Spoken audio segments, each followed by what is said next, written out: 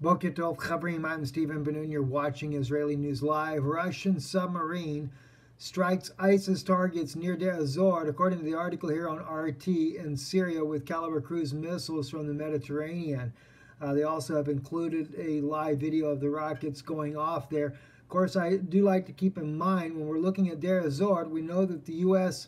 Uh, along with ISIS and Kurds are oper operating on the eastern side of the uh, the Euphrates River there near Deir Zor there, and Russia and Syrian troops are operating on the west and also on the eastern shores as well. Uh, so the thing is, is we got to keep in mind, we don't know as of yet, has there been any casualties uh, that could be U.S. casualties uh, on that side with the U.S. so close to ISIS and of course embedded with Turkish forces. So we'll have to wait to see how how that plays out. What the what the we know that Russia is saying that the target was ISIS militants, was arms depots, etc. But will it have any effect on the Kurds or U.S. forces that are operating very close with ISIS in that proximity there? Wait to see how that turns out.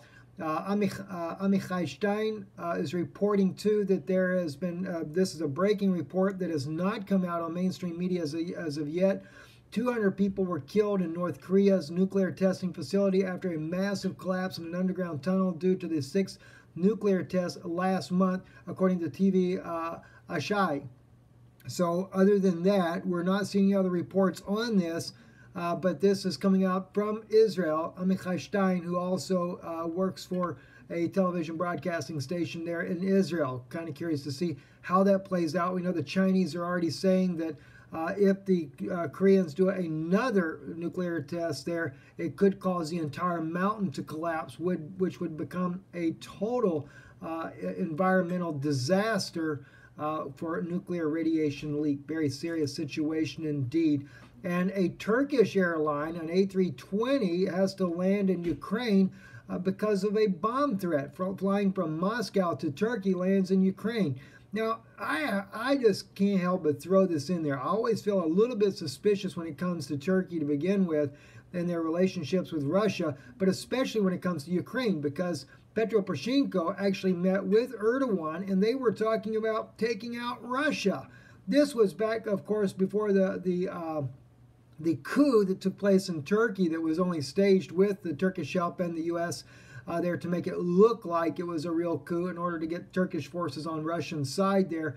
So always a bit suspicious about what that relationship is with Turkey and Ukraine. Can't help but wonder what's going on there. It already happened on his uh, Twitter page is reporting just breaking out a few minutes ago here. Reuters is saying that President Trump will not be uh, visiting the demilitarized, demilitarized zone uh, on the border of North and South Korea. So glad to hear this myself. We've been saying over and over and over it was an unwise decision. We've said it on here on Israeli News Live as well as on Flashpoint on uh, Hebrew Nation Radio.